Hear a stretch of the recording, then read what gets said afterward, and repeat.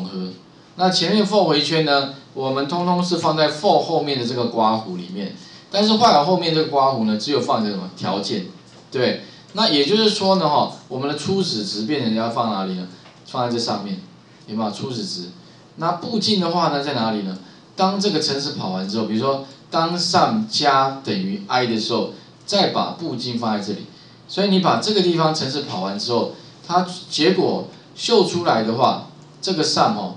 还是一加到一百的值，就是五千零五十，啊，所以基本上呢，while 回圈跟 for 回圈有部分是一样的，那只是强调的点不太一样，啊，所以请各位哈，等一下练习，就是把刚刚的 sample，我们刚刚那个 sum 回 sum 的这个范例哈，比如说我们这个 sum 的这个范例里面，啊，这个哈，原来是写成这样的，请各位哈，再按右键哦，把它复制一下，做一个版本管理。如果你把它贴回去之后，我一直强调说，你版本管理这边哈，你可以在上后面呢加一个底线，后面呢打一个坏哦，也就是说呢，这地方哦，请各位把这个本来是 for 回圈的部分呢，稍微做个改写。那改写部分的话啊，现在是现在还是上，我把它关闭一下，然后我看一下这个上坏了。那如果说我今天要把这个地方什么 for 回圈改写为坏回圈的话，那基本上非常的简单。你只要注意一下我刚刚讲的一些原理原则。第一个的话是什么？这个 for 回圈哈，把它改成坏哦。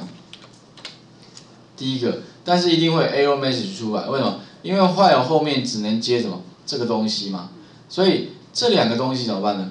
把它搬家，所以搬到哪里呢？哈，因为这边已经有一个，所以怎么样？在 int 呃，另外再因为它上预设值等于。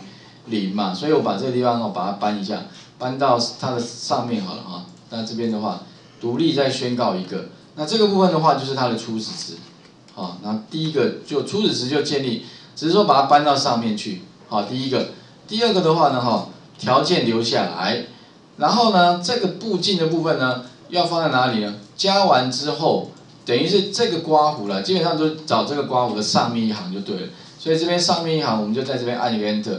然后把步进的部分呢，把它搬下来，好，然后分号的部分把它 delete 掉，啊，这边少一个，啊，分号，OK，基本上改完了，执行起来看一下，累加之后的话，一加一百，执行起来，有没有一模一样？对，一模一样，所以你会发现，for 回圈跟坏回圈，for 回圈可以做的，坏回圈也可以做，坏回圈可以做的，for 回圈也可以做了。那其实就跟我刚刚跟各位讲的那个 if else。